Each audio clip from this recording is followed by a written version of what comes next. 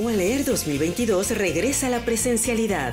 Del 16 al 20 de marzo, los pasillos del UALEER 2022 regresa a la presencialidad. Del 16 al 20 de marzo, los pasillos del Colegio Civil, Centro Cultural Universitario, serán testigos, una vez más, del encuentro entre los libros y sus lectores, con el Colegio Nacional como invitado de honor, la agenda incluye más de 70 actividades con la presencia de personalidades de la literatura y la academia como Sofía de la Mora, Luis Fernando Lara, Susana Lizano, Juan Villoro, Alejandro Palomas, Leonardo López Luján, Hernán Lara Zavala, Beatriz Espejo, Jasmina Barrera, Alberto Ruiz Sánchez, Silvia Cherem, Benito Taibo, Janet L. Clarion, Celia del Palacio, Imanol Canellada, Cecilia Udave, Florentino Solano. Consulta la programación completa en wanleer.uanl.mx. En su doceava edición, Wanleer comparte y vive los libros por el saber.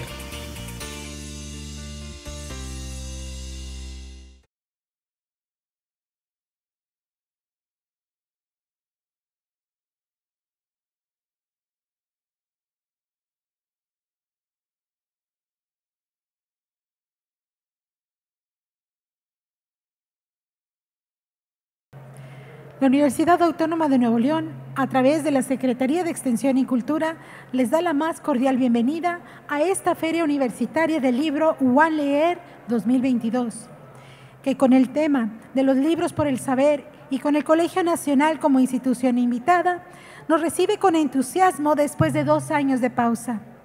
Les recordamos mantener las medidas de sana distancia, así como el uso de cubrebocas que resguarde el área de nariz, boca y barbilla.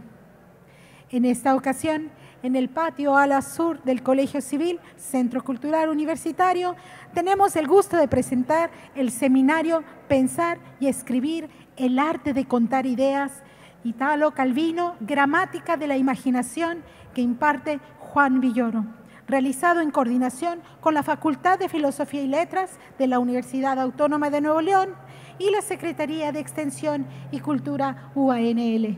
Bienvenidos. Sean todos. Muchas gracias, gracias. Muchas gracias, muy buenas tardes a todas y a todos. Agradezco a la Universidad Autónoma de Nuevo León la oportunidad de estar aquí, muy especialmente a la doctora Ludivina Cantú, al doctor eh, eh, Celso José Garza eh, y a todas y todos ustedes por acompañarme desde el año pasado estoy dando cursos en eh, la Universidad Autónoma de Nuevo León que han sido cursos eh, virtuales eh, en, función de que no habíamos podido tener encuentros presenciales. Me da mucho gusto poder iniciar este nuevo curso de manera presencial. se ha planteado como una conferencia abierta pero en realidad es la primera de cuatro sesiones que tendremos en un curso destinado a ver cómo la literatura analiza las ideas y cómo sobre todo las provoca. O sea, lo que tenemos nosotros como lema es el arte de contar ideas. Hay ciertas reflexiones que solamente surgen de las historias y los autores que vamos a ver en este curso son aquellos que a través de la narrativa han logrado reflexionar de manera especial y dar con pensamientos sumamente profundos, que no hubieran ocurrido en los ensayos, que no hubieran ocurrido escribiendo un libro de historia propiamente dicho, sino escribiendo historias, es decir, la vida privada de sus personajes que se convierte en una manera de entender el mundo. Todos estos autores han tratado de descifrar el enigma de la existencia humana. Y hoy nos vamos a dedicar a Ítalo Calvino, uno de los grandes autores del siglo XX. Em, no necesariamente lo tienen que haber leído para estar en esta charla, no es un prerequisito. Voy a tratar de que aquellos que no conozcan a Ítalo Calvino puedan acercarse a él a través de mis palabras y también, por supuesto, trataré de que aquellos que ya lo hayan leído pues encuentren alguna otra eh, observación de interés a propósito de lo que yo diga. Hay escritores que eh, se conforman con escribir su obra y escritores que también tienen el gusto, el placer y la necesidad de hablar de otros escritores. Em, me precio de ser de estos segundos en el sentido de que no solamente me gusta escribir novelas o cuentos, sino también escribir sobre otros autores. Y en esa actividad, un maestro indiscutible fue el propio Ítalo Calvino, porque él a lo largo de su vida trabajó en editoriales, principalmente en la editorial Einaudi de Turín, pero además de eso, él fue un gran comentarista de la literatura, un gran ensayista. Uno de sus libros se llama ¿Por qué leer los clásicos? Y ahí nos dice lo siguiente, un clásico es un libro que nunca termina de decir lo que tiene que decir es decir, que a través de las épocas nos sigue inquietando, a través de las épocas nos sigue interrogando, nos plantea nuevas cosas. No es lo mismo leer el Quijote en el siglo XVIII que leerlo en el XIX, en el XX o en el XXI. El significado del caballero de la triste figura cambia del mismo modo en que cambia el significado de lo quijotesco. Pero este libro se renueva con la lectura, es el lector el que le da la última palabra, la interpretación final. Pero no, no todos los libros tienen esta posibilidad. Los libros que se mantienen vivos, los libros que consideramos clásicos, son los libros que los lectores no dejan morir los lectores los mantienen entre nosotros. Y podemos decir, creo que sin temor a equivocarnos, que la propia obra de Ítalo Calvino pertenece a esta condición de clásicos que él vio en otros autores. Entonces es un privilegio poder hablar de este autor ante ustedes. Eh, Ítalo Calvino nació en 1923 en Santiago de las Vegas, en Cuba. Su nombre de Ítalo es un nombre que la verdad, la, mayoría de la gente que lo usaba en Italia solía ser gente que pertenecía a familias muy nacionalistas, muy patrioteras. O sea, ponerle a tu hijo Ítalo es como ponerle Italia. Entonces, durante el fascismo, el nombre era muy común entre los fascistas. El caso de Ítalo Calvino es singular porque sus padres, los dos, eran botánicos y trabajaban en una estación de floricultura experimental en Santiago de las Vegas, en Cuba, y tenían nostalgia de la patria lejana. Entonces le pusieron Ítalo por reminiscencia del país del origen. Por cierto, que el padre de Ítalo Calvino, Mario Calvino, había estado en México durante casi 10 años.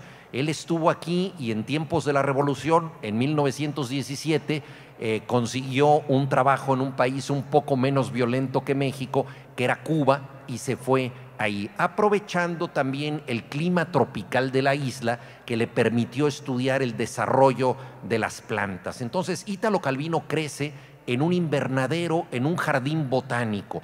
Para él, las plantas se convierten desde eh, sus inicios, desde su infancia, en algo que debe ser clasificado esto es muy importante porque la naturaleza para Ítalo Calvino no es la naturaleza en estado salvaje, no es una naturaleza silvestre la que podría tener el hijo de un excursionista, el hijo de un cazador, el hijo de un expedicionario. No, la, naturaleza que va a conocer Ítalo Calvino es una naturaleza clasificada donde todas las plantas tienen un nombre en latín, donde hay genealogías de plantas.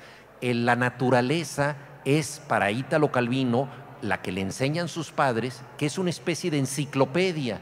Entonces desde muy niño se acostumbra a ver el mundo como algo que debe ser clasificado, que debe ser descifrado, ordenado. Y esto va a incidir profundamente en su imaginación, en el tipo de escritor él va a ser. Muchos años después, él vuelve a contar los cuentos populares italianos. Fue un, proyecto muy generoso de su parte, en donde él recogió leyendas de distintas regiones de Italia. Seguramente ustedes saben que en Italia se hablan dialectos muy distintos y que eh, hay ciertas historias escritas en siciliano, por ejemplo, que no se entienden eh, para la gente que es del Piemonte o de Liguria o de otras regiones de Italia. Entonces él lo que hizo fue recuperar estos cuentos populares y escribirlos en el italiano moderno. Y en el prólogo a estos cuentos populares, él dice que no, no se dedicó a esto por nostalgia de los cuentos infantiles, porque en su infancia no tuvo cuentos infantiles. En su infancia, cuando él llegaba con sus padres y les decía, me prestas un libro, le daban un libro de clasificaciones botánicas o le daban un libro sobre el origen del universo. Sus padres eran científicos, entonces le daban libros de ciencia y más o menos se los explicaban. Entonces, para él, la naturaleza, el mundo, los libros, todo esto tuvo que ver con la ciencia desde el principio. Y quisiera recordar aquí algo que dijo un autor que le gustaba mucho a Calvino, que era el escritor francés Francis Ponge. Francis Ponge tiene un libro maravilloso que se llama De parte de las cosas. Y en este libro él trata de ver cómo los objetos más pequeños tienen un mundo maravilloso. Por ejemplo, le dedica un capítulo a la pastilla de jabón otro capítulo al picaporte de la puerta, ¿no?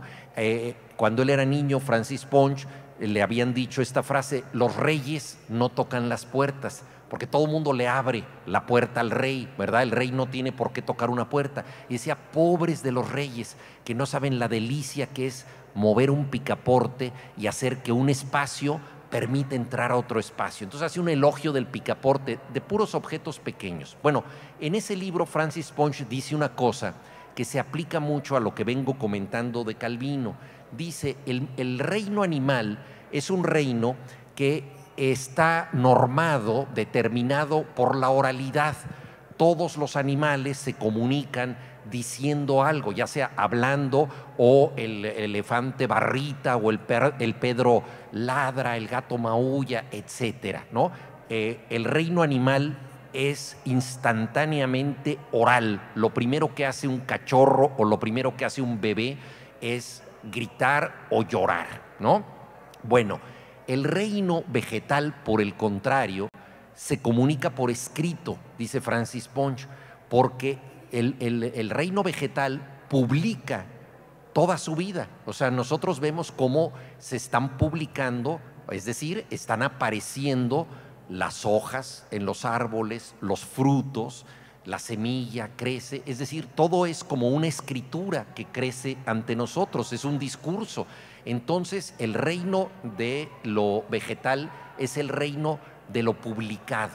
Y esto es muy importante para entender al joven Calvino que está rodeado de padres que son botánicos y estos padres botánicos le van a enseñar la naturaleza justamente como un libro que se está escribiendo a sí mismo. Y al final de una de sus más célebres novelas, El varón rampante, que es la historia de un varón que vive en los árboles, y entonces al vivir en los árboles él empieza a ver que las ramas de los árboles van trazando un discurso y termina el libro eh, haciendo equivalente ese discurso como el flujo de la tinta que va trazando letras y que llega a un punto final. El punto final puede ser, en el caso de los frutos, precisamente un florecimiento, un brote, ¿no? Ahí termina una frase de la naturaleza. Entonces, la naturaleza entendida como un libro es esencial a la imaginación de Ítalo Calvino. Sus padres hacen que él pase su infancia en Cuba y él regresa a Italia, se instalan en San Remo y eh, cuando él eh, está muy contento de haber vuelto a la patria, a, la tierra de la que tanto le habían hablado, la tierra de su idioma, se encuentra con la Segunda Guerra Mundial. La Segunda Guerra Mundial lo toma eh, en plena adolescencia. Hay un cuento de Ítalo Calvino de un muchacho que a los 16 años aprende a silbar, a andar en bicicleta y a huir de las bombas, ¿no? Es una adolescencia en guerra. Siendo muy joven, antes de los 20 años, Calvino se incorpora a la resistencia, es un partisano. Entonces él eh, lucha eh, contra la invasión nazi eh, Italia es ocupada por los nazis. Ustedes recordarán que había un pacto, las potencias del eje, y Mussolini con, eh, Italia pues, había eh, hecho causa común con Hitler.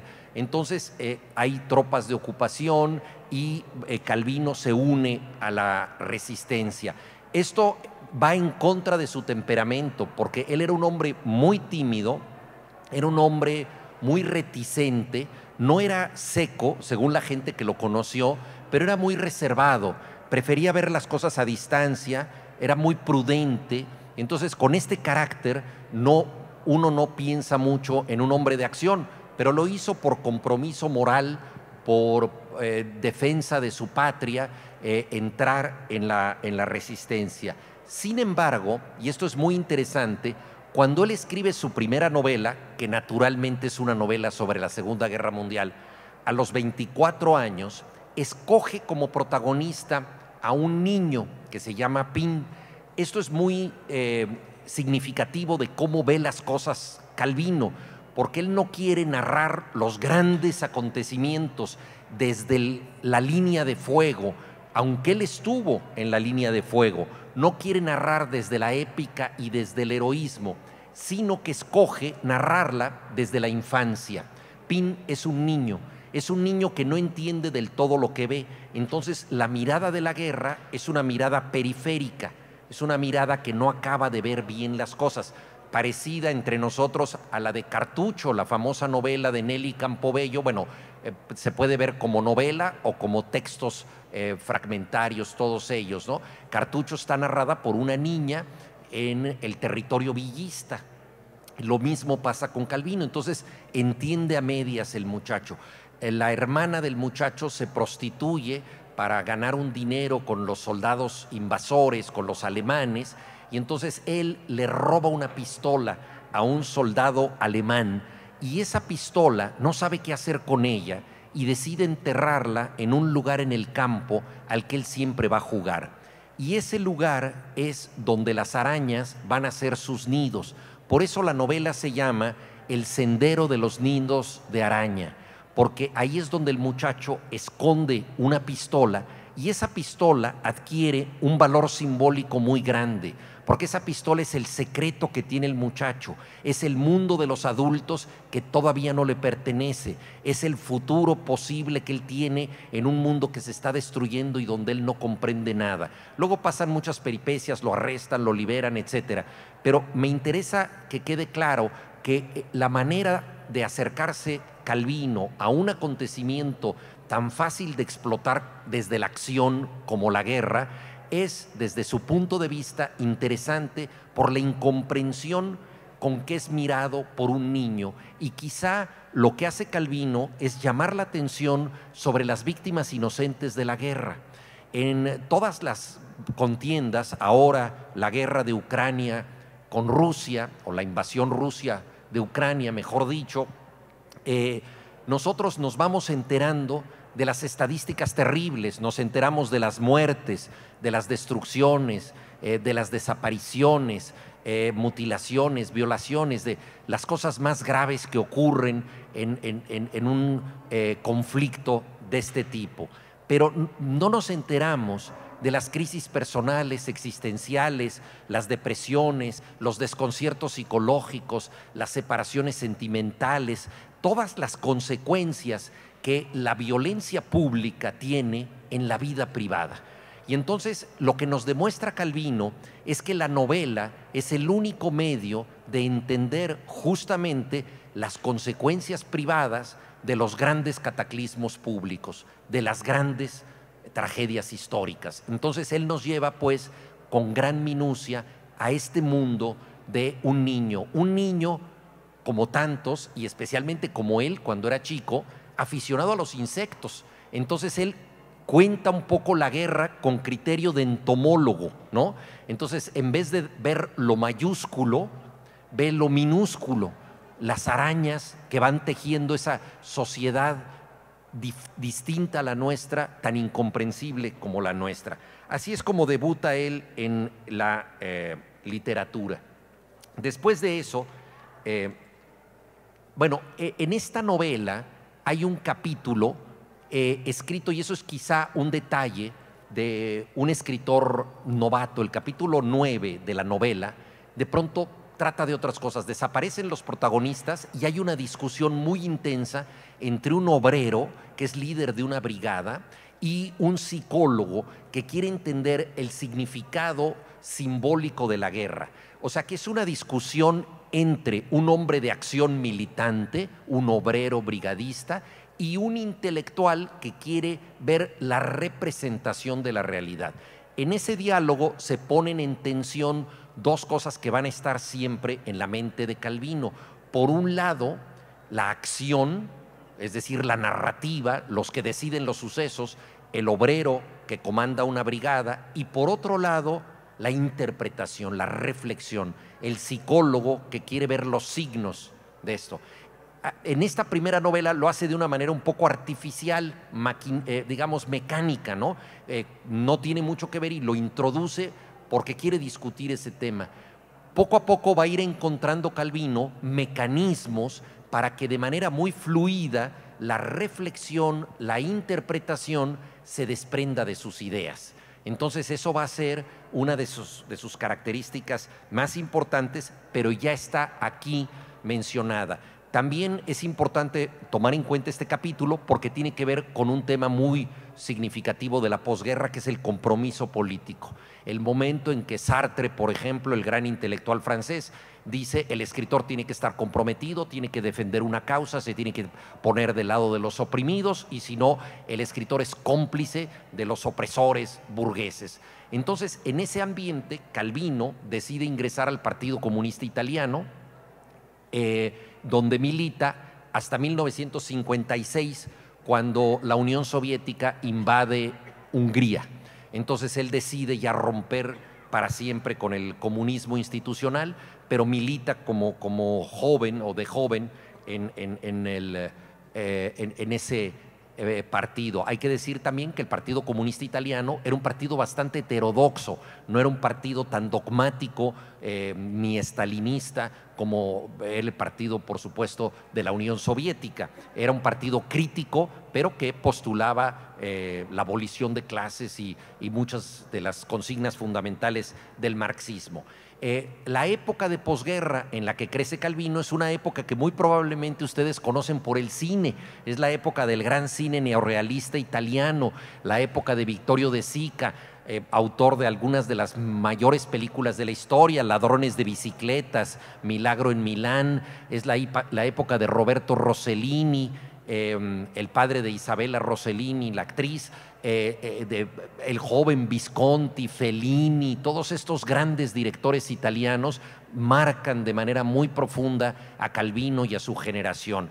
Y él se acerca a escritores eh, que tratan todos ellos de descifrar el desencanto del hombre contemporáneo después de la Segunda Guerra Mundial. Esto es muy importante porque hay un clima de desesperanza en la posguerra. Uno podría pensar, terminó la guerra, todo mundo está contento. No, pero hay que pensar que termina la guerra y viene la hambruna, las ciudades destruidas por las bombas. Es, un momento, y, y también la crisis moral, la crisis moral que, por ejemplo, los italianos dicen, pero ¿en qué momento pudimos apoyar a Mussolini? ¿Cómo fue posible que fuéramos cómplices de todo esto? Los informes que empiezan a llegar de los campos de concentración nazis. Entonces hay una gran crítica de lo humano. Ser humano se convierte en algo terrible. Un escritor italiano que estuvo en Auschwitz, deportado ahí porque era judío, Primo Levi, escribe un libro que se llama Si esto es un hombre. O sea, un ser humano se deshumaniza por completo en los campos de concentración, pero no solo ahí, la, Italia moderna se convierte en una Italia industrial, deshumanizada, que busca desesperadamente entrar eh, en, una mejoría económica y donde eh, no hay una prioridad de los valores culturales. Entonces, eh, esta rica cultura que hay en el cine, en la literatura, ocurre en simultáneo con un desencanto generalizado. No es casual que en esa época surjan novelas en Francia con títulos que ya en sí mismos nos hablan de la pesadumbre, la náusea de Jean-Paul Sartre, que es la náusea de vivir, la náusea de la existencia, ¿no? Él había escrito El ser y la nada también. Eh, Albert Camus escribe La peste, que trata de una epidemia, tema muy actual para nosotros, y trata de cómo el ser humano, la epidemia tiene ahí un valor simbólico, cómo el ser humano siempre está amenazado. De hecho, él escribió La peste para reflexionar sobre la ocupación nazi de Francia, y algunos críticos le dijeron, eh, no has entendido nada, porque no es lo mismo una ocupación humana hecha por un ejército enemigo que una amenaza producto de un virus. Esto es un problema biológico. Y Camus respondió, el ser humano siempre está amenazado. Lo importante es ver cómo reacciona ante las amenazas. Cada amenaza saca lo mejor y lo peor del ser humano. ¿Y por qué necesitamos nosotros de momentos extremos para sacar lo peor o para sacar lo mejor? ¿Por qué no podemos nosotros ser consistentemente mejores todo el tiempo? Es la gran pregunta de esta novela. Entonces, en la posguerra, aunque ya las sociedades están en paz y se recuperan, surgen estas preguntas muy críticas. Y hay un escritor que marca a, Calvino, que es Cesare Pavese, que escribe El oficio de vivir, ¿no? que es, es un diario que él escribe hasta el día en que se suicida. La última entrada es No escribiré más y se pega un tiro en un hotel de Turín es también un hombre desencantado con la posguerra. Y otro autor de la época, Alberto Moravia, gran novelista del que se filmaron casi todas sus novelas, escribe novelas cuyos títulos nos hablan del clima de la época. Fíjense ustedes qué títulos. La primera novela se llama Los indiferentes, ¿no? que trata de la gente que no se compromete, que lo único que quiere es salir adelante egoístamente. Otro, eh, otra novela de él se llama El conformista, que se hizo película dirigida por Bernardo Bertolucci. El conformista es la historia de una persona que empieza a tomar decisiones exclusivamente porque se deja llevar por el poder y siguiendo el poder como conformista va subiendo, pero va destruyendo su alma. ¿no? Otra novela de Moravia, El tedio. ¿no? El tedio, eh, el tedio en italiano es la noia, y noia en realidad es como un tedio existencial, es como una angustia existencial. Entonces ese es el clima en el que está eh, creciendo Calvino como escritor después de haber publicado El Sendero de los Nidos de Araña, y no es casual que él de pronto empiece un texto diciendo en primera persona, el personaje, era una época en que no me importaba nada de nada un desencanto total. Entonces él lo que hace es escribir una serie de textos que tienen que ver con la crisis de valores de la posguerra y con problemas sociales muy concretos. Recordemos, milita en el Partido Comunista, arriesgó su vida como guerrillero, tiene un compromiso social fuerte y entonces detecta problemas fuertes. Uno de ellos parece muy inspirado en la peste de Albert Camus, que yo les digo, y, que es, digamos, una amenaza menor, más doméstica, más íntima. Se llama la hormiga argentina.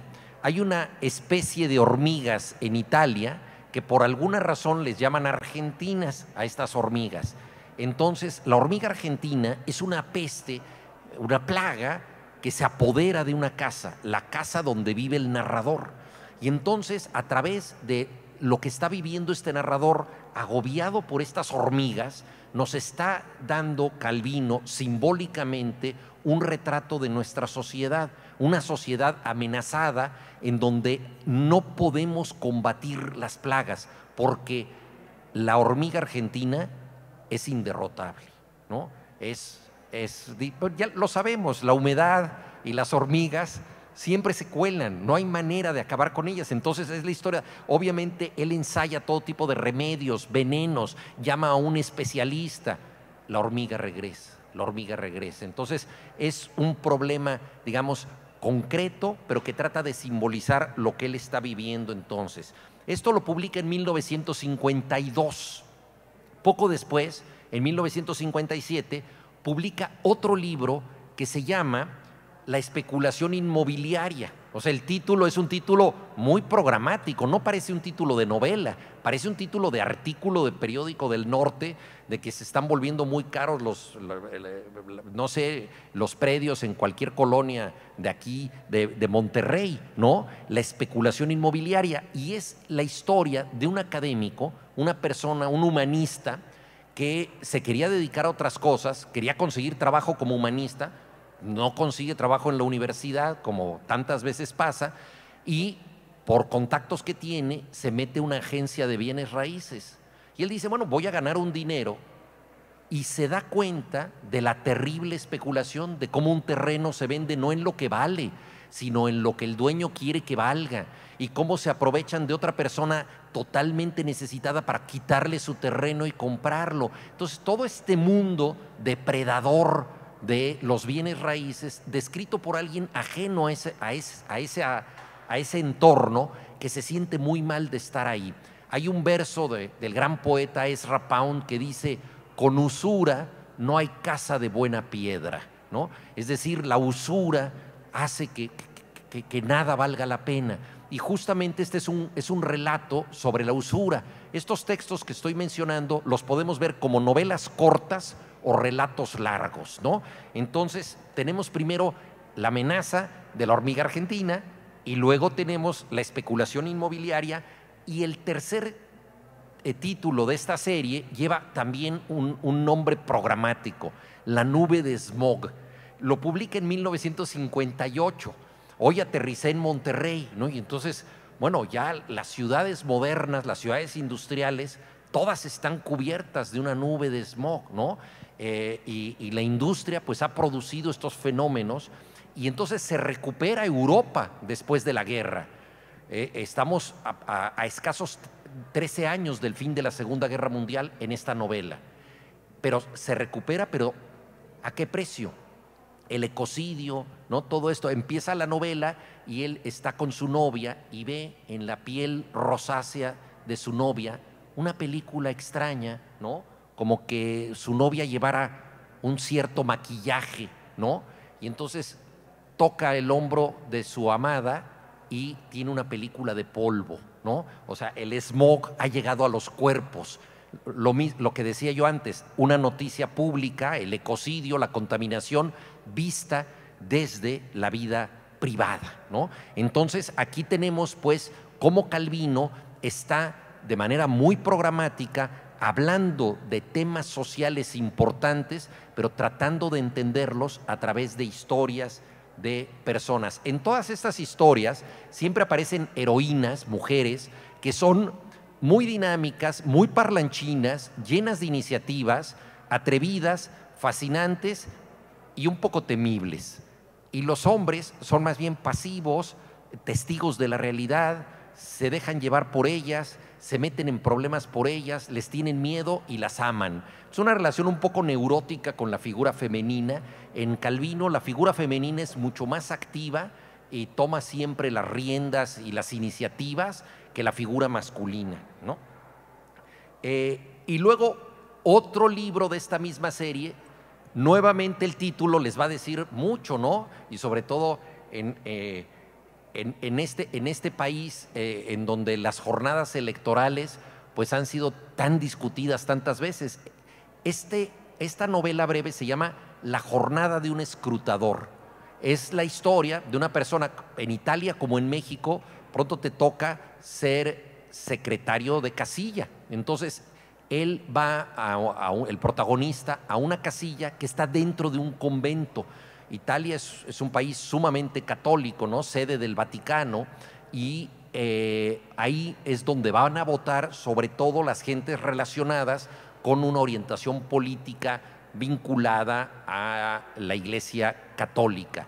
Y se da cuenta él de que llevan a votar de pronto a gente que, ya no tiene razón, que, que no puede pensar, que está en silla de ruedas, llevan a votar a alguien en camilla, llevan a, la corte de los milagros, ¿no? A votar.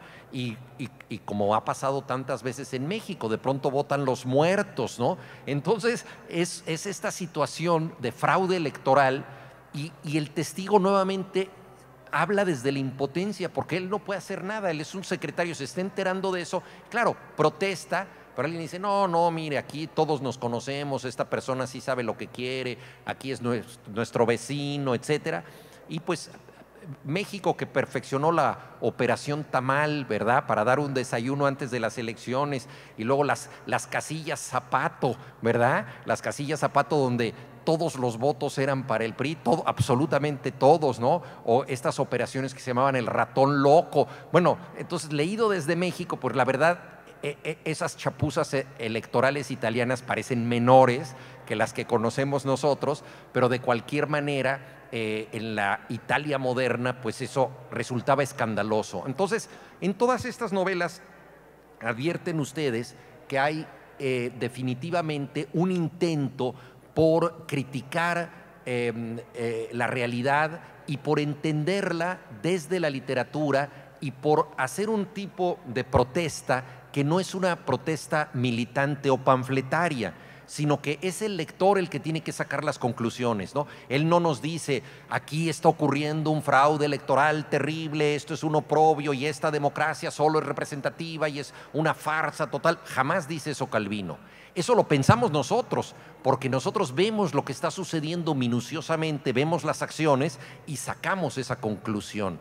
Lo mismo en la nube de smog, ¿verdad? Él no tiene que decirnos qué terrible que de pronto una persona recibe en la piel contaminación que ha llegado del medio ambiente. Esa conclusión la sacamos nosotros. Entonces lo hace de manera muy sutil. Ahora bien, lo asombroso es que todo esto que les he contado son como 10 años de escritura de Calvino y mientras tenemos a este escritor, que es un escritor eh, que está tocando temas sociales importantes, simultáneamente está escribiendo literatura fantástica, eh, eh, como si fuera dos personas totalmente distintas. Entonces, él, les decía yo, que abreva en los cuentos populares italianos, los vuelve a contar en italiano moderno, reescribe en italiano moderno el clásico de Ariosto, eh, Orlando Furioso, se entrena de esta manera para volver al pasado italiano, pero no para escribir novelas históricas, sino para escribir novelas fantásticas ubicadas en el pasado.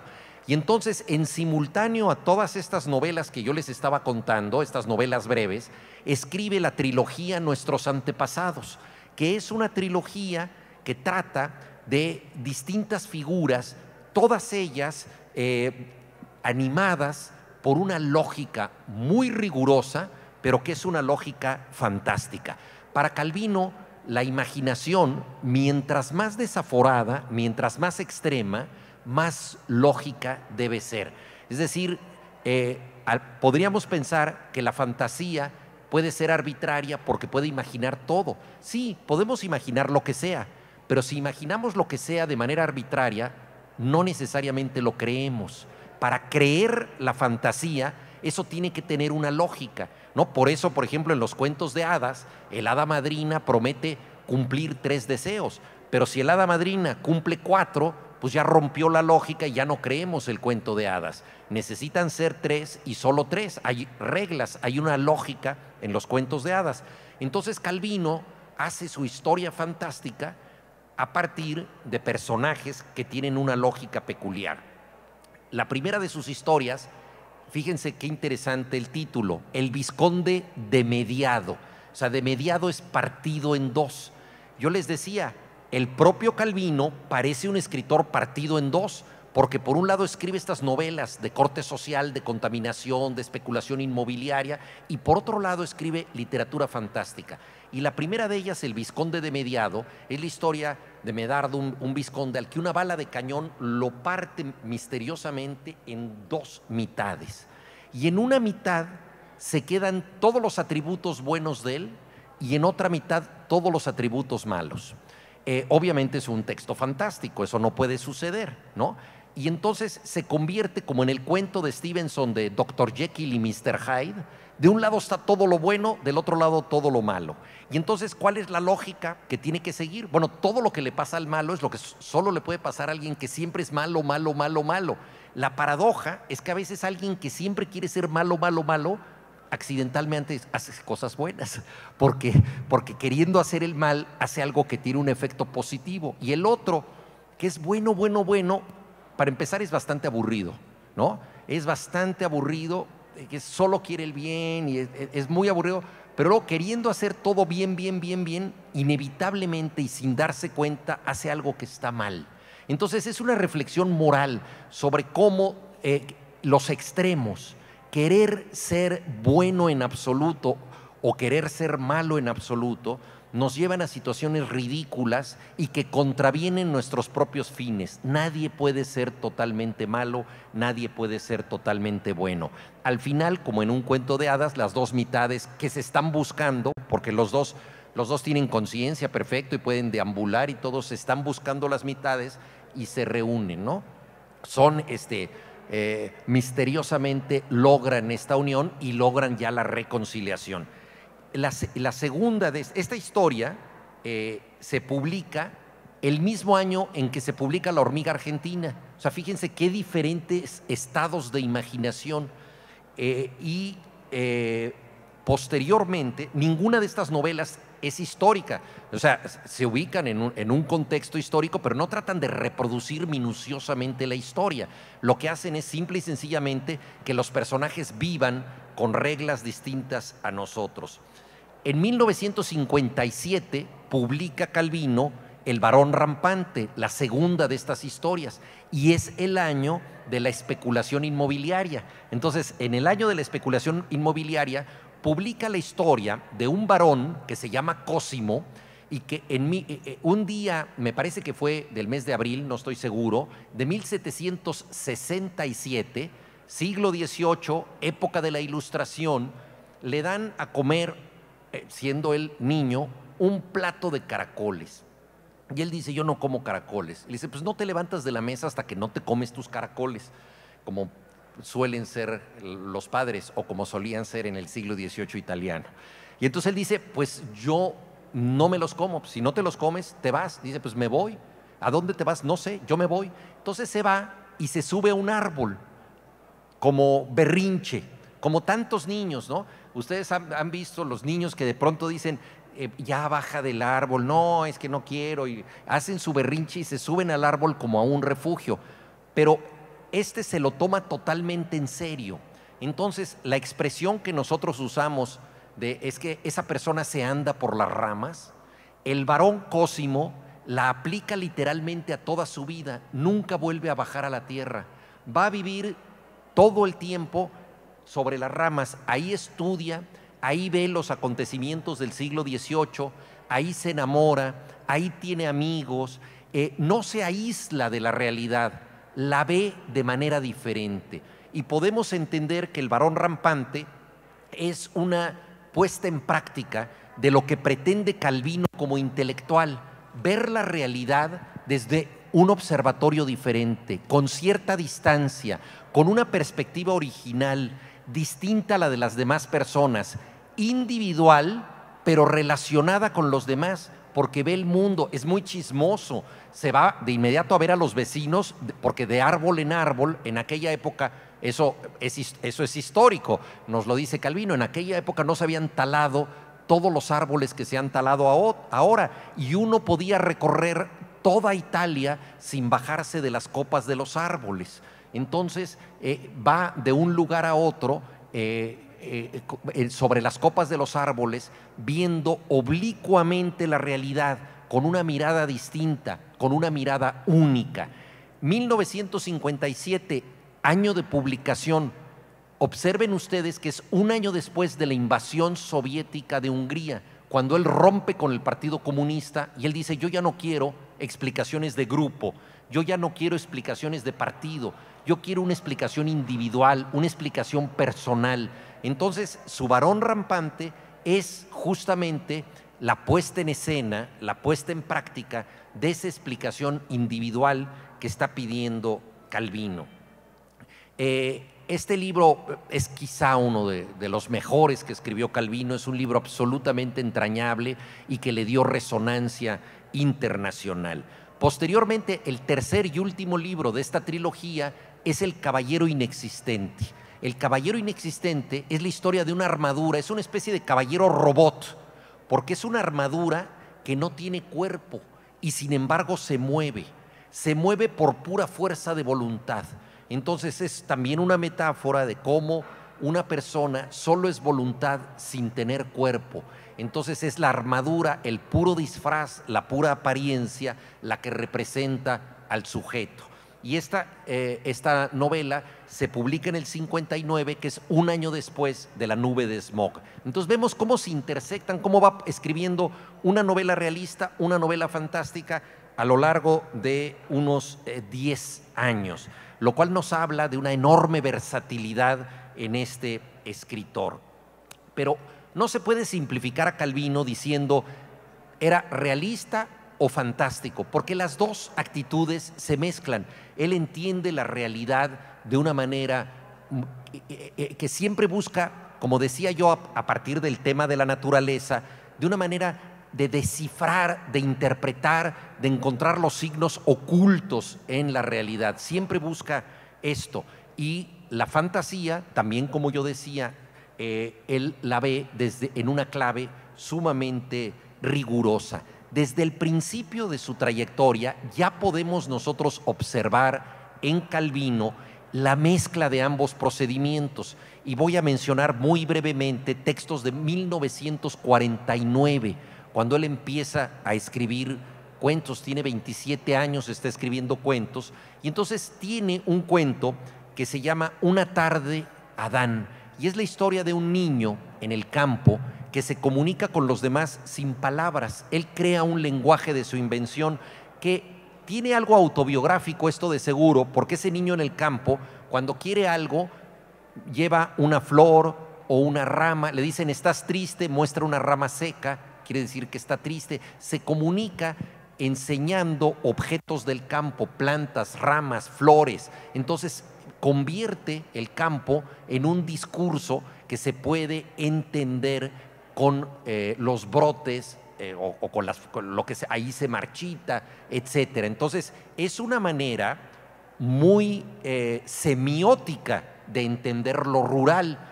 ve lo rural como un conjunto de signos, ¿no? Y eso ya está en el Calvino de 1949. Hay otro cuento que se llama El bosque de los animales.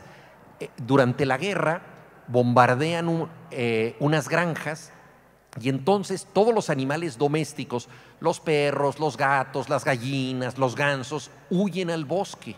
Huyen al bosque y se tienen que comportar en el bosque de otra manera, porque ahí no tienen comida y entonces las gallinas tienen que comportarse como los venados y los perros se tienen que comportar como los lobos y así sucesivamente se tienen que adaptar a otra realidad los animales y podríamos decir que traducen su comportamiento. Es también un texto sobre lenguajes del mundo natural, los que conjugaban su vida como patos, como gansos o gallinas, ahora tienen que conjugar su vida como animales salvajes, tienen que aprender a ser salvajes.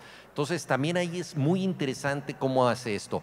Y concluyo esta brevísima revisión de cuentos de Calvino de tema rural, de tema campestre vinculado con la guerra, con uno de sus más conocidos cuentos que dio lugar a un libro de relatos que así se llama, que se llama Por último el cuerpo, el cuervo. Por último el cuervo. Es la historia de un niño nuevamente que tiene una espléndida puntería y es un niño que se hace una pregunta eh, filosófica, una pregunta metafísica. Dice, ¿por qué existe la distancia? ¿Por qué hay algo eh, que me separa? Hay un vacío que me separa de lo que está lejos. Y aprende a disparar. Y dice, si disparo, el vacío desaparece. Lo que está lejos me pertenece. Y tiene una espléndida puntería. Y entonces empieza a dispararle a todo. Y claro, la distancia no tiene sentido porque él puede tocar a distancia con las balas, tiene una puntería extraordinaria. Entonces los partisanos, siendo un niño, lo incorporan a su batallón por la buena puntería que tiene, pero le dicen, pero no desperdicies balas, porque tú le quieres tirar a todo, ¿no? Le tira las piñas de los oyameles, a todo le está tirando todo el tiempo.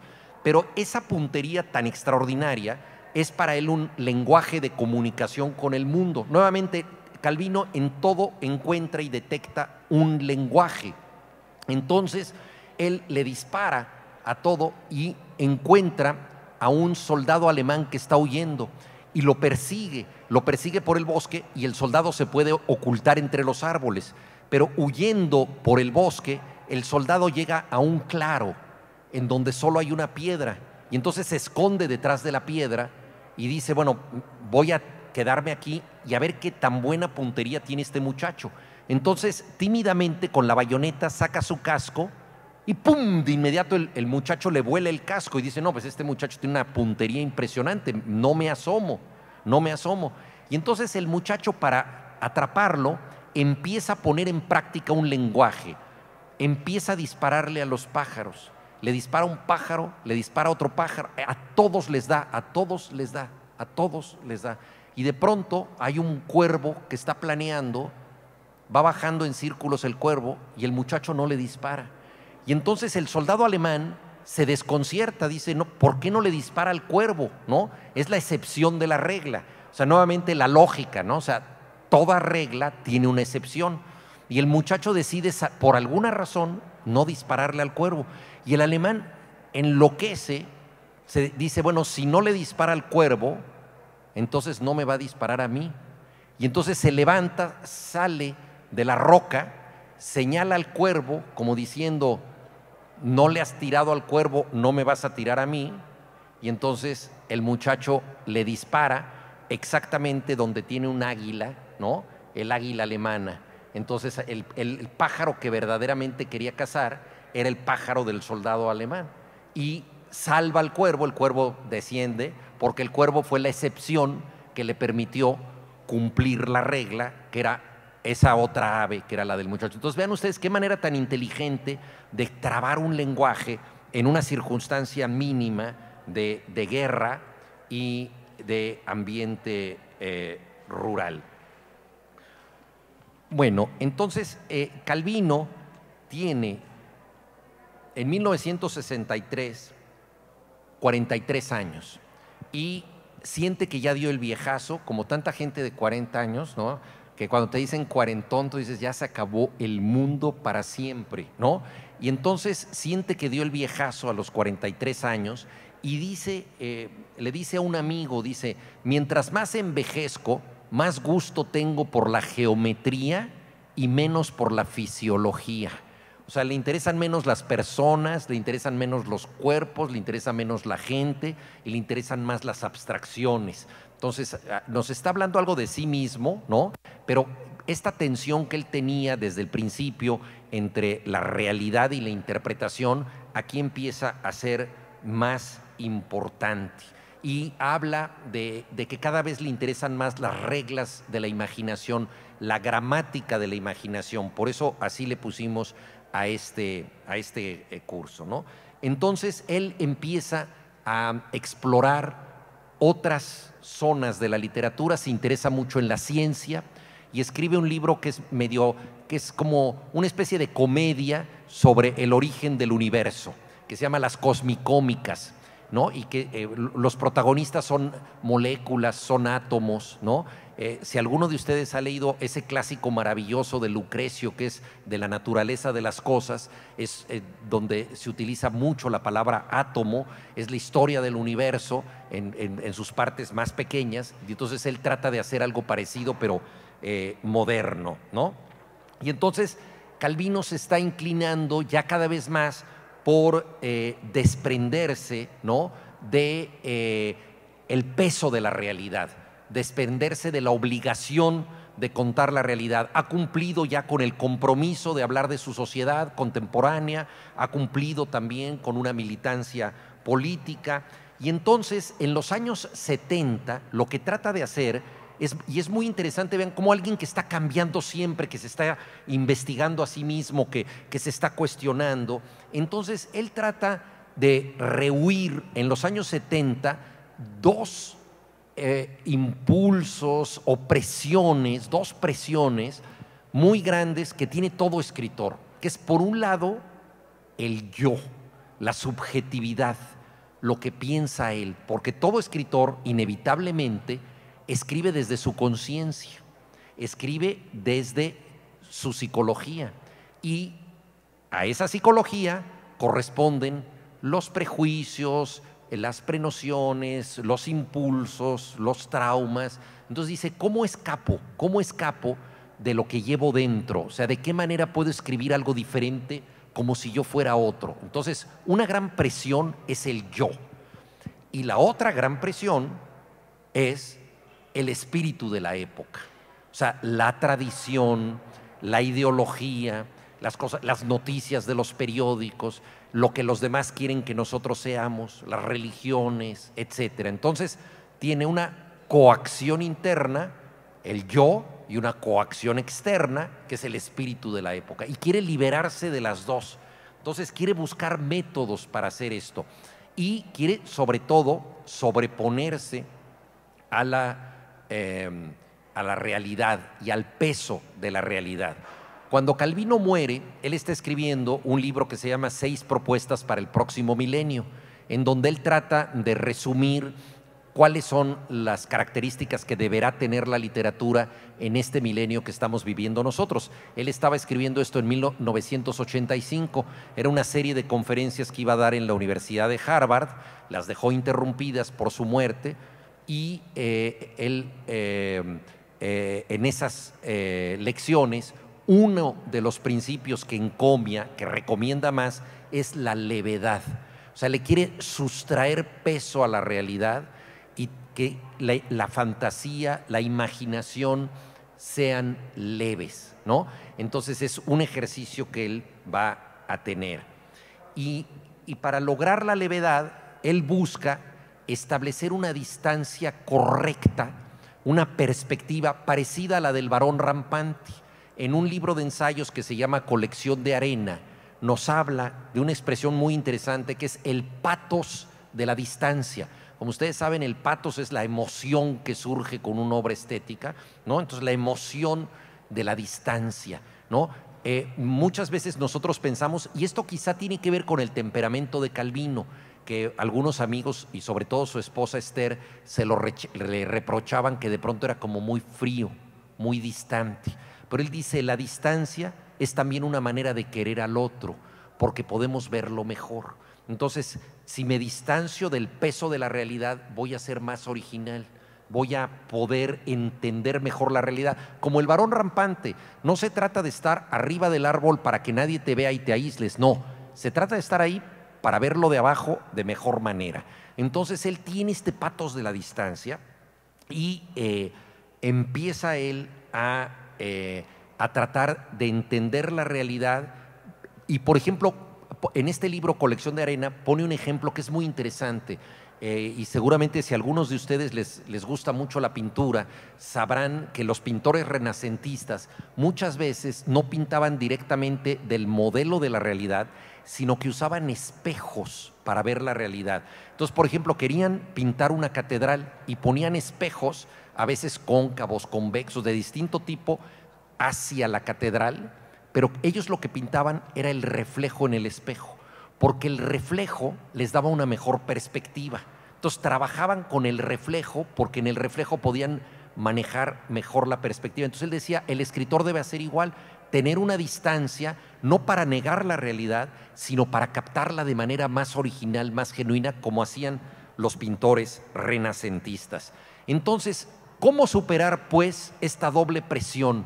La subjetividad, ¿no? Y los discursos de la época, de la tradición, las cosas a las que todos estamos sometidos. Entonces Calvino empieza a buscar nuevos métodos y estos métodos tienen que ver con el arte combinatoria, el arte combinatoria que se usó mucho en el siglo XIII, que es buscar combinaciones fortuitas de cosas, ¿no? utilizar sistemas como las barajas, por ejemplo, construye un libro con cartas del tarot.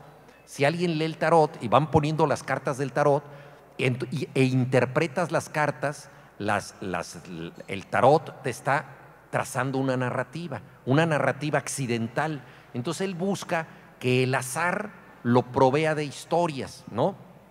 Participa también en el grupo Ulipó, eh, Ulipo eh, es una palabra que quiere decir ouvrier de literatura potencial, taller de literatura potencial.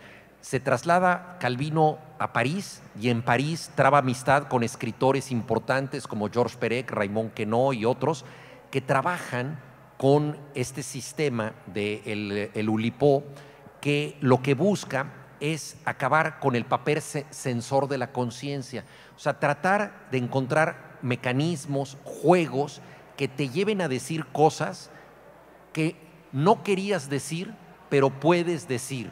Por ejemplo, una supresión creativa. En, en el arte, los obstáculos muchas veces te obligan a decir cosas que no sabías que podías decir. Por ejemplo, Georges Perec escribe una novela que se llama La desaparición y es una novela donde suprimió la letra que más se usa en la lengua francesa, que es la E. Entonces él solo podía escribir sin E.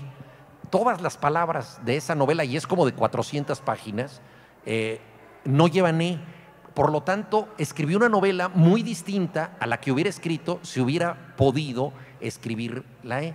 Por ejemplo, los eh, miembros del Ulipo escriben relatos que ellos llaman lipogramas, utilizando un método que se llama sustantivo más ocho. Entonces, esto eh, suena un poco raro, pero, pero vale la pena porque es interesante. Sustantivo más ocho quiere decir lo siguiente, tomar un diccionario al azar, abrirlo donde sea, en un sustantivo ese sustantivo va a ser el sujeto de la primera oración. La segunda oración va a tener como sujeto ocho palabras más abajo. Entonces, por eso es sustantivo más ocho. Ocho palabras más abajo, ¿cuál te da? Pues eh, esa palabra va a ser el, el siguiente. Entonces, te va obligando a escribir un relato que no sabías que podías escribir. Por cierto que recomiendan usar malos diccionarios. Malos no en el sentido de que digan de que definan mal las palabras, sino malos en el sentido de que son escasos. O sea, diccionarios de bolsillo. ¿Por qué? Porque en los diccionarios de bolsillo eh, la octava palabra ya cambió mucho respecto a la, anterior, al sustantivo anterior. En cambio, en los diccionarios que son gigantescos, ocho palabras más abajo, igual todavía estamos en la misma zona, porque hay tantos, tantas variantes, sinónimos, todo. Entonces dicen, no, agárrate un diccionario pequeñito, el más chiquito que tengas, y vas a ver qué cosas tan raras vas a escribir, ¿no? Pensemos en la poesía. La poesía es un obstáculo creativo, es un obstáculo para decir cosas que normalmente no queríamos decir. Si nosotros tenemos un pie de verso, es decir, vamos a versificar en endecasílabos, no versos de 11 sílabas, o en alejandrinos, 14 sílabas, y vamos a tener una rima, ¿qué cosas vamos a decir nosotros? Pensemos entre nosotros un ejemplo que, bueno, a mí me encanta, eh, ahora que fue el centenario de Ramón López Velarde, ¿no? Ramón López Velarde quiere escribir eh, un poema sobre una crisis amorosa, para variar, y entonces empieza escribiendo en 14 sílabas, rimados, el poema. Y el primer verso es muy sencillo, es como una letra de corrido, dice, yo tuve en tierra adentro una novia muy pobre. Pues eso podría estar en cualquier corrido, ¿verdad? Yo tuve en tierra adentro una novia, dan ganas de cantar ese verso, ¿no? ¿Y con qué va a rimar pobre? Y entonces ahí se ve obligado a rimar pobre con algo y lanza un verso absolutamente fulgurante en el doble sentido por lo que dice y por la brillantez de la expresión, que dice, yo tuve en tierra adentro una novia muy pobre, ojos inusitados de sulfato de cobre, ¿no? Los ojos, los ojos de, eh, sulfato de cobre son azul verdes, ¿no? Los ríos sulfatados llevan ese color. Entonces es una imagen maravillosa. Y uno dice, bueno, si no hubiera puesto pobre, ¿Qué hubiera pasado? Por cierto, que luego los investigadores literarios que todo lo buscan, que son como, la, como decía, decía José Emilio Pacheco, la policía judicial literaria, ¿no? Entonces la policía judicial literaria investigó esos versos y dijo, no, pues la novia de López Velarde era María Nevares y no era muy pobre. ¿No? Y entonces, y la propia María Nevares dijo, ¿por qué puso que yo era tan pobre? Bueno, porque tenía que rimar con cobre. Entonces, ¿qué fue primero, lo pobre o cobre? Ya no sabemos. Lo cierto es que todo se ajusta, ¿verdad? Es un obstáculo que te permite decir cosas que si no estuvieras escribiendo poesía con rima, igual no hubieras dicho eso.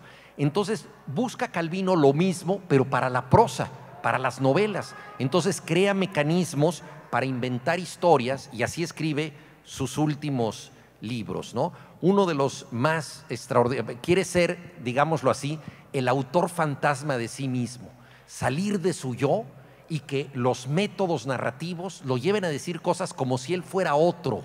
Entonces, así escribe en 1972 uno de sus mejores libros, Las ciudades invisibles. Eh, previamente, Calvino, y vean ustedes cómo opera la imaginación en Calvino, que hace una reflexión y la reflexión lo lleva a narrar de una manera específica. Por eso este curso eh, se llama así, eh, Pensar y Narrar, ¿no? Entonces, él escribe un ensayo sobre el utopista Fourier, que eh, imaginó un mundo perfecto, el nuevo mundo amoroso, una ciudad de armonía, ¿no? En donde todo fuera perfecto. Entonces, según Fourier, va a ser una ciudad maravillosa y tiene una gran capacidad descriptiva. Entonces dice Fourier, ahí em, los niños, como a los niños les gusta jugar con cochinadas y todo, los niños van a estar encargados de la recolección de basura, porque se van a volver útiles porque les encanta recoger la basura y jugar con la basura, pero además los van a disfrazar de pequeños húsares para que disfruten haciendo. Entonces inventa cosas de ese tipo, dice el, el mar no va a ser tan aburrido como el nuestro porque el mar va a tener sabor de limonada. Y, en fin, inventa un mundo que a él le parece perfecto. Y Calvino, al escribir de Fourier, hace una reflexión que curiosamente no incluye esa reflexión en el prólogo de, de, las ciudades invisibles, pero estoy convencido de que lo ayudó a escribir ese libro, que es la siguiente. Dice, uno lee la utopía de Fourier y se deslumbra con las descripciones, con ese mundo posible, y sin embargo, cuando uno cierra el libro, uno no siente emoción, no siente tristeza, no siente eh, que realmente eso lo movió a uno. ¿Por qué este libro tan bien escrito y tan imaginativo no causa emoción? Y la conclusión de Calvino es la siguiente, dice, porque la utopía tiene la condición de que nunca ha sido habitada. ¿No? Eh, Alfonso Reyes autor regiomontano, eh, propuso que la palabra utopía se definiera como no hay tal lugar. O sea, la utopía es un no lugar. Por lo tanto, nadie puede vivir ahí. Y si nadie puede vivir ahí, no hay huellas. Entonces, no podemos nosotros sentir los amores, las tristezas, las ilusiones, todo lo que te dejan las ciudades. Y entonces Calvino decide escribir un libro que se llama Las ciudades invisibles, que son ciudades que no existen, pero que no son utópicas, porque son ciudades imaginadas, pero las imagina como si hubieran sido ciudades habitadas, son ciudades entrañables. Todas ellas son ciudades del deseo, todas llevan nombres de mujeres y son ciudades muy eh, diferentes unas de otras. El libro se estructura de una manera apasionante. Uno de los grandes viajeros de todas las épocas fue italiano, veneciano para más señas, Marco Polo. Entonces Marco Polo viaja a Oriente y se encuentra con el gran Khan, el emperador de los tártaros. Y el, el gran Khan tiene un imperio tan grande que él no lo ha recorrido por entero. Y entonces el gran Khan le pregunta a Calvino, ¿cómo es mi imperio? ¿Cómo son las ciudades? Tú que todo lo conoces, viajero. Cada vez que regresa de un viaje Marco Polo, le cuenta cómo son las ciudades del mundo. Y entonces Marco Polo le va describiendo ciudades, y por supuesto son ciudades fantasiosas, son ciudades extraordinariamente eh, raras, eh, y ahí está la maravilla, que son ciudades inventadas por Marco Polo, pero que son muy verosímiles. Y el propio Kant le dice, ya no sé, no me importa si me estás inventando o no me estás inventando. Me gusta oírte, me gusta conocer estas ciudades y me conmueven. Y gracias a lo que tú me dices, yo entiendo mi reino. Entonces son ciudades, por ejemplo, que las describe Marco Polo y nuevos típicos sello de Calvino, las describe a partir de la lógica que tienen estas ciudades. ¿no? Por ejemplo, una ciudad que imita al cielo y entonces se extiende como una galaxia, parece una de las grandes ciudades contemporáneas, una macrópolis una ciudad que es redundante, donde todo se repite, donde todo está condenado a reiterarse. Una ciudad muy interesante de nostalgia, donde lo más importante son las tarjetas postales. Pero son tarjetas postales y seguro esto les ha pasado a ustedes, que hay tarjetas postales, por ejemplo, de Monterrey, de cómo era Monterrey hace mucho tiempo. Y entonces esas postales son entrañables y dice, dice Marco Polo, obviamente Calvino, pero en voz de Marco Polo, dice Marco Polo, lo interesante de esas postales, dice, es que ese mundo anterior, la verdad, no era tan atractivo, no era la gran cosa. ¿no? Pues eh, uno ve un cerrito y dice, ay, mira cómo era esto y cómo qué pequeñita era eh, esta iglesia antes de que tuviéramos la catedral y todo. Pero eso se vuelve entrañable por comparación. Y uno dice, si la ciudad no hubiera destruido todo eso, si la ciudad no hubiera cambiado tanto, probablemente ese pasado no sería tan entrañable. Y dice, la nostalgia es lo que no tuvimos, lo que no pudo ser para nosotros, pero regresa para reconfortarnos, ¿no? Es una ciudad nostálgica. Entonces, esa ciudad, toda está organizada en torno a la nostalgia. Luego hay una ciudad del deseo. Y entonces los habitantes creen que es una ciudad donde se van a cumplir sus propios deseos. No, es la ciudad del deseo donde se cumplen los deseos de la ciudad. Entonces, lo que uno quiere hacer, por ejemplo, uno quiere eh, hay alfareros, ¿no? Entonces uno quiere hacer una vasija y empieza a tornear el barro y dice, tengo el deseo de que este, esta vasija sea de esta manera, y de pronto la mano se empieza a mover sola y es la vasija la que decide qué es lo que hace la mano. O sea, es la ciudad del deseo, pero porque es la ciudad, y que eso es una metáfora muchas veces de nosotros mismos en las ciudades, que nosotros vamos a una cantina queriendo saciar nuestros deseos en la cantina al calor de los mariachis y el tequila, ¿verdad? Y en realidad es la lógica de la cantina la que acaba haciendo con nosotros lo que quiere la cantina, ¿no? Eh, y, luego hay una ciudad reflejo, una ciudad en espejo, en donde todo importa por el reflejo y a veces los espejos mejoran o empeoran la realidad. Una ciudad donde todo es signo, donde solamente hay como señales de tránsito por todas partes, signos. Uno va viendo signos como si ustedes han ido al metro en la Ciudad de México, ¿no? Entonces hay una campana, por ejemplo, en el metro. La campana quiere decir estación insurgentes, porque es la campana de Dolores. Hay que saber ciertas cosas para entender eh, eh, este códice, ¿no? Y, así sucesivamente. Hay un cañón, ese cañón es la ciudadela, porque ahí pasó la, la decena trágica. Entonces esta ciudad está toda hecha de signos. Son tantos los signos de la ciudad que lo único que entienden los habitantes nunca es la ciudad, sino los signos. Y cuando salen de la ciudad, ya ilustrados, adiestrados por tantos signos que han visto, ven las nubes y no ven las nubes, ven un pato, ven un árbol, ven formas en las nubes, ¿no? Están adiestrados a que todo sea un signo, ¿no? Y es también una metáfora para lo que sirve el arte. O sea, el arte nos sirve para buscar símbolos, pero también para ver símbolos en otros lados, no solo en el arte, sino en la naturaleza misma, ¿no? Y hay un pasaje que no resisto a la tentación, es muy breve de leerles a ustedes, que tiene que ver con la propia ciudad de Marco Polo porque en un momento dado el gran Khan le pregunta a Marco Polo si conoce una ciudad con estas características. Dice Kublai Khan lo siguiente, ¿te ha sucedido alguna vez ver una ciudad que se parezca a esta? Eh, dice, preguntaba Kublai a Marco Polo, asomando la mano ensortijada por el baldaquino del bucentauro imperial para señalar los puentes que se arquean sobre los canales. Ahí empieza la descripción de la ciudad.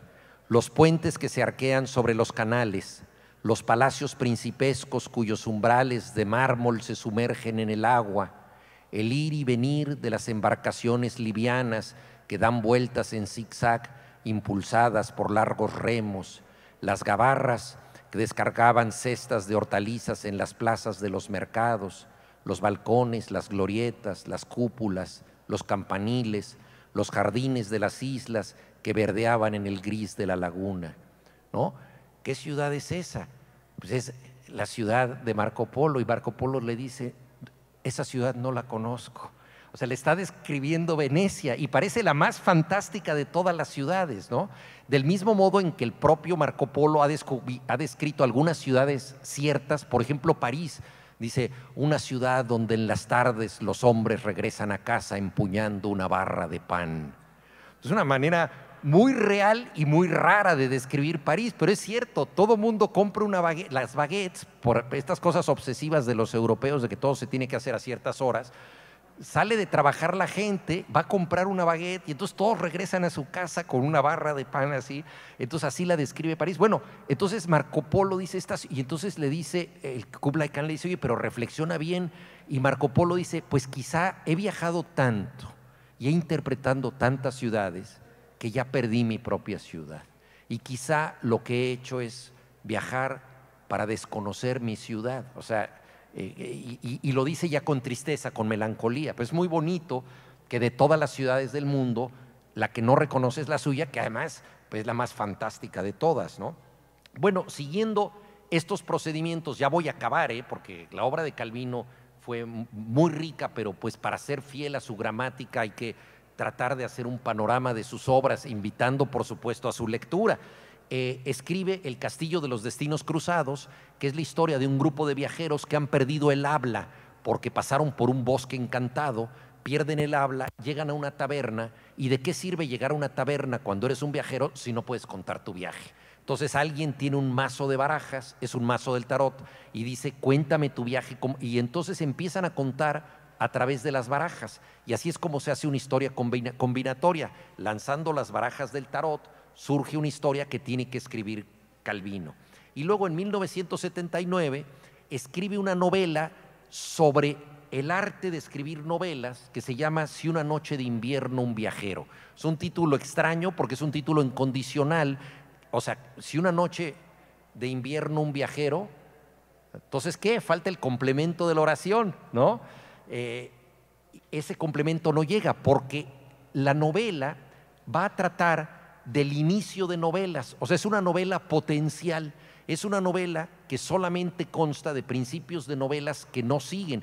Y la novela es el conjunto de esas novelas posibles que no se desarrollan. Una es una novela japonesa, otra es una novela policíaca y así sucesivamente. Entonces es una novela sobre el arte, no solo de escribir novelas, sino de leerlas, porque el protagonista es el lector. Entonces dice, tú lector estás sentado en tu cuarto leyendo el último libro de Ítalo Calvino abres la, puerta, abres la página 3 y tú estás en la página 3. Y entonces empieza a describir, vean qué manera tan interesante de describir la novela. Dice, la novela comienza en una estación de ferrocarril. O sea, no empieza describiendo una, novela, eh, una estación de ferrocarril, sino empieza describiendo la novela que comienza ¿no? con una estación de ferrocarril.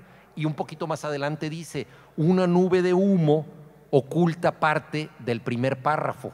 O sea, estamos en una estación de ferrocarril, hay una nube de humo, pero la nube de humo no oculta el andén, oculta el primer párrafo. Entonces se está mezclando el texto con la realidad, ¿no? Entonces es una novela dentro de la novela, una meta novela, ¿no? Y una obra potencial donde todo es, como dicen los especialistas, incipit, es decir, principio, ¿no? Y, y esto lo hizo justamente utilizando los métodos combinatorios que había aprendido en el eh, Ulipo. Entonces, todo esto lleva a Calvino a perfeccionar sus recursos haciendo series, trabajando en series, porque las series te obligan a algo. Por ejemplo, si voy a escribir eh, sobre los pecados capitales, pues a lo mejor no tengo mucho que decir sobre la gula, pero ya me metí en esta asignatura. Entonces me voy a forzar a mí mismo a hacer cosas. Entonces estos obstáculos creativos lo van forzando y, va, viendo cosas. Escribe un, libro em, en donde él tiene un alter ego eh, que lo representa, que se llama Palomar. Palomar, ustedes saben, es el nombre de uno de los más famosos observatorios astronómicos que hay. Está en Estados Unidos, en el Monte Palomar. Entonces, e, este seudónimo es justamente el de alguien que ve el mundo, ¿verdad? Como si él fuera un observatorio. Y entonces pone en distintos en distintas circunstancias a su personaje y este personaje, como todos los de Calvino, trata de ver el mundo como un lenguaje. Por ejemplo, obliga a Palomar a ir de vacaciones. Palomar va de vacaciones y va a una playa en donde se ha puesto de moda en Europa eh, que las playas sean toples, ¿no? Entonces, eh, no es una playa nudista, pero es una playa donde las mujeres se pueden asolear sin la parte superior del bikini. Y él pertenece a una tradición, una generación eh, católica, en donde pues no está acostumbrado a ver los pechos desnudos de las mujeres. Eh, este pasaje se llama el pecho desnudo.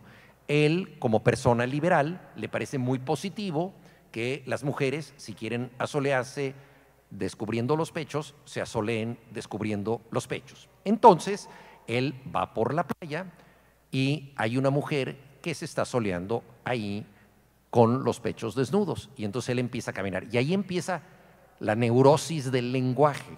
Él dice, no voy a ver a la mujer, dice, no voy a ver a la mujer porque ella está ejerciendo su libertad de asolearse sin que yo la vea, ¿no? Y entonces, ¿por qué la voy a ver yo? ¿No? Eso no está bien. Sigue caminando y dice, bueno, pero a ver, no hay nada más natural en el mundo que ver las cosas que tiene el mundo. Si esta mujer se pone aquí, se pone pues porque quiere que la vean. Entonces debo verla, pero sin insistencia. La tengo que ver de manera sutil. siguiente argumentación. Y sigue, vean ustedes, o sea, nuevamente, cómo él construye una historia para pensar, ¿no? Y entonces, siguiente pensamiento. No, dice, pero es una mujer muy atractiva. Es una mujer muy atractiva y está ahí desnuda y yo, pues, la verdad, no tengo que verla así nada más a la distraída sino que pues realmente yo digo, si yo veo un árbol maravilloso, pues tengo que detenerme ante el árbol maravilloso. Entonces yo tengo que prestarle atención, tengo que prestarle atención. Y entonces eh, va haciendo estos cambios, ¿no? Hasta que, claro, llega la mujer y la mujer dice, se le queda viendo como si fuera el peor de los sátiros, se levanta, se cubre y se va, ¿no? Y entonces dice, una vez más, la tradición fue más fuerte que mis reflexiones intelectuales. Entonces, así acaba ese cuento. Luego tiene otro ubicado en México, ubicado en México, que es sobre la dificultad de entender los lenguajes que nosotros no comprendemos. Ese pasaje de Palomar se va de vacaciones y se va a Oaxaca y hay uno que se llama Serpientes y Calaveras. Entonces está en una región arqueológica, ¿no? En una región arqueológica y va acompañado de un intelectual mexicano, eh, él fue muy amigo de Octavio Paz, pero no sabemos si era Octavio Paz. Pero es un intelectual mexicano eh, al que le gusta que todo sea un símbolo, al que le gusta que todo tenga una elocuencia. Entonces él, por ejemplo, dice, ¿qué es esa piedra? Esa piedra es una represión sagrada de Quetzalcoatl, Quetzalcoatl, la serpiente emplumada. La serpiente emplumada era un dios que era extraordinario porque era un dios ilustrado, pero que nunca se había visto en el espejo.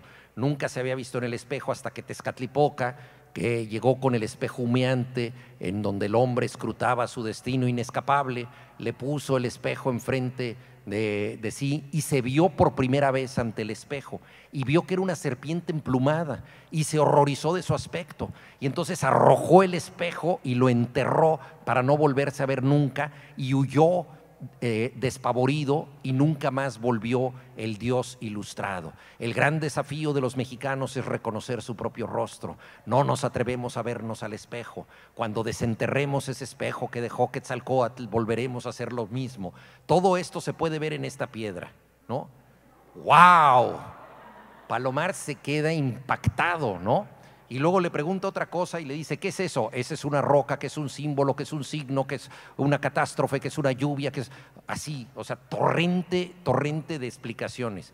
Y en eso llegan unos niños con un maestro y llega la misma piedra en donde el intelectual había dicho todas estas cosas. Y los niños le dicen, maestro, maestro, ¿qué significa esa piedra? Y el maestro dice, no se sabe lo que significa. Y entonces Palomar dice, ¿Cuál de las dos interpretaciones es mejor? Dice, la verdad es que las dos me parecen igualmente convincentes. O sea, me parece extraordinario que alguien pueda decir todo esto, pero también me parece extraordinario ver una piedra antigua y decir, no sabemos lo que significa, ¿no? Entonces ahí se queda en un empate, digamos, ¿no? Eh, y, es parte, digamos, de cómo pone en juego su inteligencia Calvino. Bueno, él muere en 1985, exactamente el mismo día de septiembre del terremoto de la Ciudad de México. Él estaba en Siena, tiene un derrame cerebral, estaba preparando las conferencias con sus seis propuestas para el próximo milenio y ahí muere.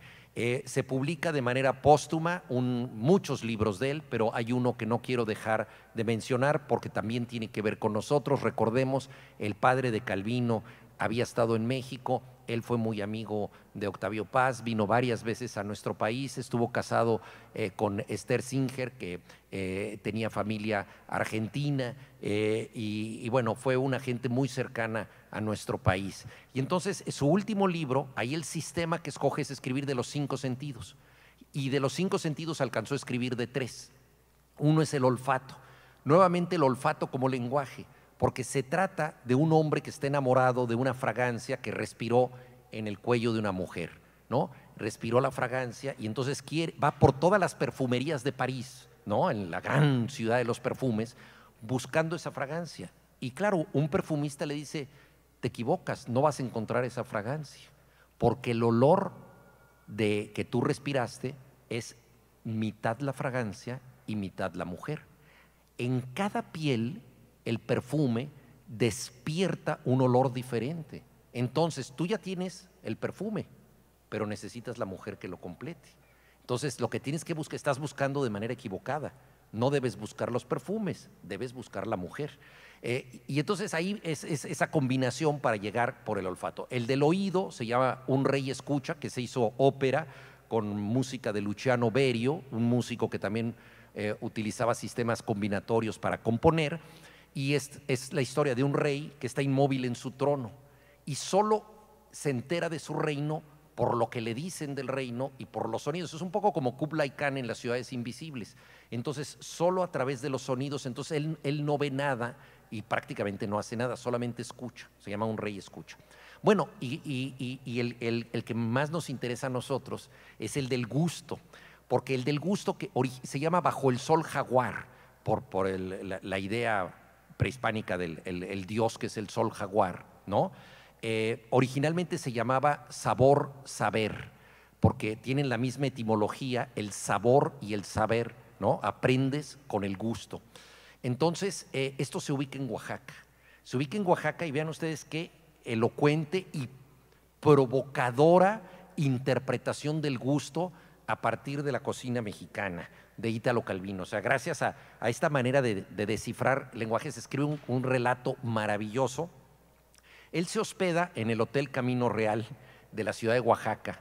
Yo les recomiendo que vayan, no necesariamente que, que se hospeden, no estoy haciendo publicidad para el hotel, pero pueden entrar porque es un antiguo convento, es muy bonito, muy bonito. Y en la recepción está el cuadro, hay un cuadro de un sacerdote y de una monja. Era un, convento de las monjas de Santa Catalina de Siena. ¿no? Y em, él, se entera que ese, el sacerdote que está ahí era el sacerdote que visitaba puntualmente a las monjas. Y las monjas le preparaban de comer. Y entonces empieza a analizar la comida mexicana, que es tan sustanciosa, eh, con salsas tan contundentes. Y buena parte de la comida mexicana, como sabemos, se originó en los conventos. El mole, por ejemplo, si no se originó, se perfeccionó en los conventos, en Puebla, y, eh, Oaxaca y otros lugares. Entonces, eh, Calvino dice, bueno, eh, hay un tipo de comida que es afrodisíaca. el afrodisíaco tiene como principio que tú comes algo y te excitas y entonces buscas a otra persona, buscas una pareja para consumar tu deseo erótico. Dice, pero hay una comida afrodisíaca en un sentido absoluto. O sea, es tan sensacional esa comida que ya no necesitas buscar otro cuerpo, porque ya todo el placer está en la comida. Y la comida mexicana tiene un poco esa característica porque dice, el sacerdote no podía buscar un afrodisíaco porque era sacerdote y la monja tampoco podía buscar un afrodisíaco, pero la monja le podía preparar guisos al sacerdote tan placenteros que ya nadie necesitaba ni una novia ni un novio. Había nada más, ahí estaba el placer absoluto. Entonces es la primera reflexión que hace. Pero luego va a Monte Albán, a Mitla, a otras zonas arqueológicas, se entera bastante en detalle de los sacrificios humanos, ¿no? Ve figuras después en, el sureste mexicano como el chacmol, las ha visto también en Tula, ¿no? Y el chacmol, como saben, es esta figura que está así recostada y tiene como una vasija que establece un contacto entre el, ombligo sagrado eh, en, la cima de la pirámide y el cielo, ¿no? Y entonces eh, empieza a inquirir Calvino, bueno, ¿y qué pasa con la carne de los sacrificados? Dice, bueno, la carne de los sacrificados llegaban los opilotes, comían los restos y se los llevaban al cielo. Los pájaros que se llevaban la carne al cielo, ¿no? Era una comunión entre eh, el ser humano y la divinidad. Entonces eran mensajeros de la divinidad. Dice, bueno, pero algo, algo quedaba de esa carne, ¿qué, se hacía con el resto? Entonces, claro, le cuesta trabajo que alguien le diga, pero es la verdad. Dice, bueno, muchas veces se comía esa carne. Y entonces Calvino dice, claro, el pipián mexicano, el mole amarillo de Oaxaca, el mole negro, pues es la, la comida ideal para comerte al prójimo sin que te des cuenta que es el prójimo, ¿no? O sea, se necesita una cocina súper condimentada porque además se trata de una comunión sagrada. O sea, si ya este sacrificado fue parte de un ritual, parte de una ofrenda, consumir esa ofrenda es incorporarte al cuerpo que ya es un cuerpo sacralizado. Es también una de las características por lo que la, comunión, el cuerpo de Cristo, fue tan fácilmente recibida entre nosotros. Había también dioses comestibles de amaranto, etc.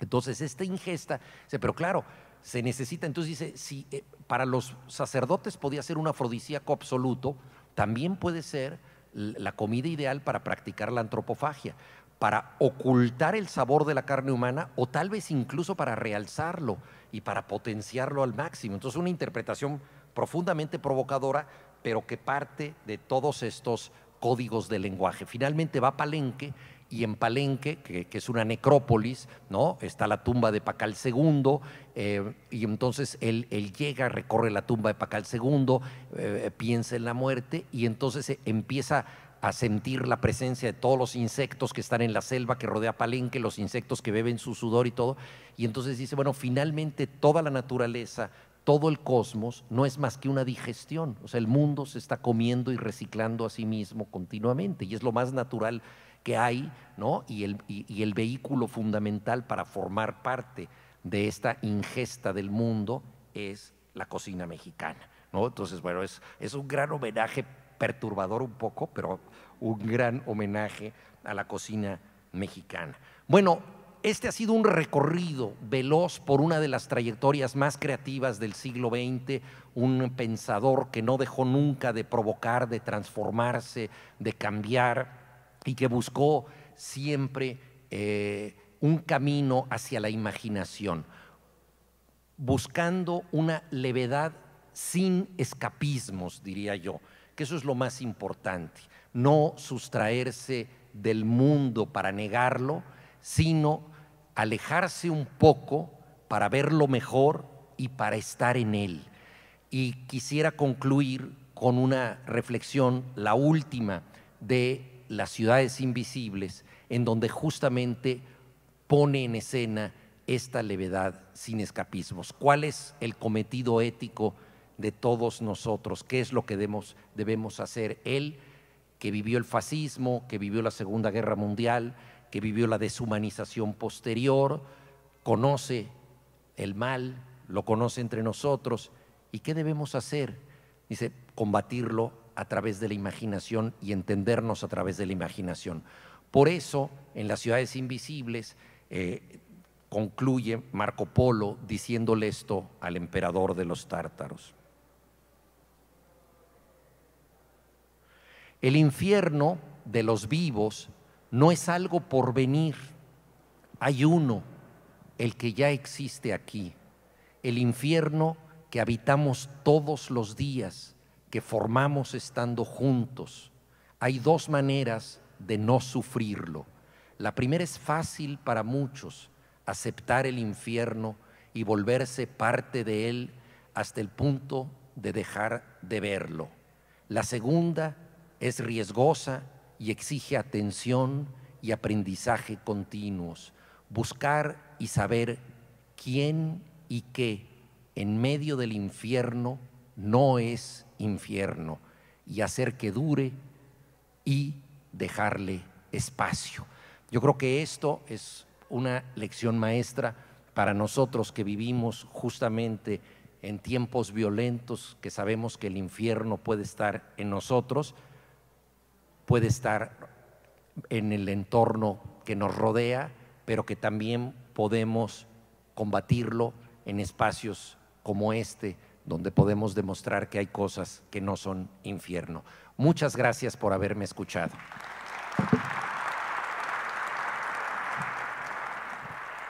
Muchas gracias. ¿Alguna persona entre el público desea hacer alguna pregunta? Adelante. No sé si les pasan un micrófono para que se grabe. Es que como están grabando, le, Sí, le piden un a tener micrófono. Ah, magnífico. Ya, ya ahí tiene el micro, muchas gracias. Felicitarlo por esa extraordinaria eh, descripción y yo diría esa axiología de, la personalidad de Italo eh, este, Calvino. Veo yo que eh, en toda la obra de él juega con dos mundos, no, no, no jugar en el sentido eh, eh, desordenado, sino analítico, el mundo de la realidad y el mundo propio. Entonces, esto lo aleja, Juan, a Calvino de, los existencialistas, que fue una, una reacción de la Segunda Guerra Mundial especialmente. Porque el existencialismo dice, no, no, a mí no me interesa todo, yo lo que quiero es existir, porque es lo que... Pero, pero Calvino no, Calvino dice, vamos a ver los dos mundos, el exterior y el interior. Yo pensaba preguntarle cuál tenía prioridad, pero ya con sus últimas palabras ya no dices, yo creo que él hacía un cóctel muy bien combinado de los dos. No sé si estoy yo en lo correcto. Y finalmente le pregunto, ¿las otras pláticas van a ser aquí mismo y qué días? Muchas gracias. Eh, sí, efectivamente, lo que comenta me parece muy pertinente lo que acaba de decir, porque el existencialismo, en efecto, em, surgía de un desencanto, ¿no? Surgía de un desencanto de que ya no podemos creer en, eh, en, en las religiones, no podemos creer en los valores externos, etcétera. Y la guerra, pues, nos ha demostrado que el ser humano es cruento y que, sin embargo, tenemos que ser libres y tenemos que elegir, entonces es como una exigencia ética muy fuerte en circunstancias muy extremas. Y, esto lo supera Calvino a través de la imaginación, que le da mucha alegría. Entonces, efectivamente, como usted muy bien dijo, hace un cóctel, o sea, no es ajeno a la realidad, sigue siendo testigo de la realidad, pero le va, la va dotando de imaginación, de fantasía, para poder de manera lúdica eh, trascenderla. Eh, las, las otras tres charlas me parece que ya tenemos fechas pero yo creo que se las, se las tenemos que dar por internet, porque creo que la siguiente es sobre Milan Kundera, que es otro autor que pensó mucho desde la literatura. Milan Kundera, esa me parece que es el 30 de marzo, pero van a ser virtuales esas, van a ser virtuales las siguientes tres. Entonces la siguiente es sobre Milan Kundera y, luego vamos a ver a- a un escritor peruano en combinación con un escritor eh, mexicano, argentino, venezolano, Alejandro Rossi, que es eh, Julio Ramón Ribeiro y Alejandro Rossi, y luego vamos a ver a, dos escritores argentinos, Di Benedetto y, Juan José Saer, tratando de, de seguir siempre en este esquema de escritores que, que hacen narrativa y a partir de la narrativa llegan a la reflexión. Gracias. Muchas gracias. ¿Alguien más?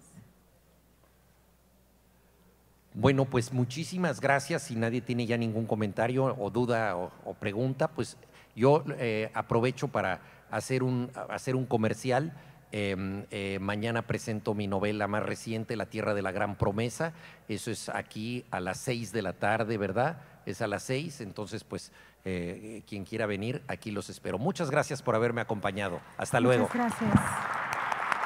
La Universidad Autónoma de Nuevo León agradece su presencia en este evento y los invita a continuar disfrutando de las actividades de nuestra máxima fiesta literaria. Buenas noches.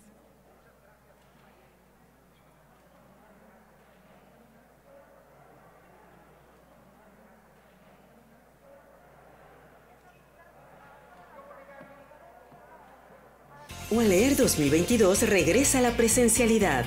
Del 16 al 20 de marzo, los pasillos del Colegio Civil, Centro Cultural Universitario, serán testigos, una vez más, del encuentro entre los libros y sus lectores. Con el Colegio Nacional como invitado de honor, la agenda incluye más de 70 actividades con la presencia de personalidades de la literatura y la academia como Sofía de la Mora, Luis Fernando Lara, Susana Lizano, Juan Villoro, Alejandro Palomas, Leonardo López Luján, Hernán Lara Zavala, Beatriz Espejo, Jasmina Barrera, Alberto Ruiz Sánchez, Silvia Cherem, Benito Taibo, Janet L. Clarion, Celia del Palacio, Imanol Canellada, Cecilia Udave, Florentino Solano. Consulta la programación completa en wanleer.uanl.mx. En su doceava edición, Wanleer comparte y vive los libros por el saber.